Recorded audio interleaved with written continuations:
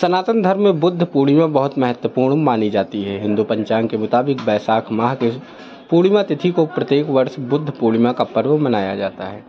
इस दिन मान्यता के मुताबिक गौतम बुद्ध का जन्म भी हुआ था। इस दिन भगवान बुद्ध को ज्ञान की प्राप्ति भी हुई थी। बौद्ध और हिंदू धर्म में मान्यता रखने वाले लोगों के लिए यह दिन बेहद महत्वपूर्ण होता है। हिंदू धर्म के लोग गौतम बुद्ध को भगवान विष्णु का अवतार मानते हैं। ज्योतिष गणना के मुताबिक साल 2024 में बुद्ध पूर्णिमा के दिन कई शुभ संयोग का निर्माण भी हो रहा है। इन शुभ योग में अगर आप कुछ कार्य करते हैं तो लाभ ही लाभ मिल सकता है। तो चलिए इस रिपोर्ट में जानते हैं, कब है बुद्ध पूर्णिमा, क्या है शुभ संयोग। दरअसल अयोध्या के ज्योतिष पंडित कलकी राम बताते हैं कि हिंदू पंचांग के मुताबिक बैसाख माह की पूर्णिमा तिथि को बुद्ध पूर्णिमा का पर्व मनाया जाता है।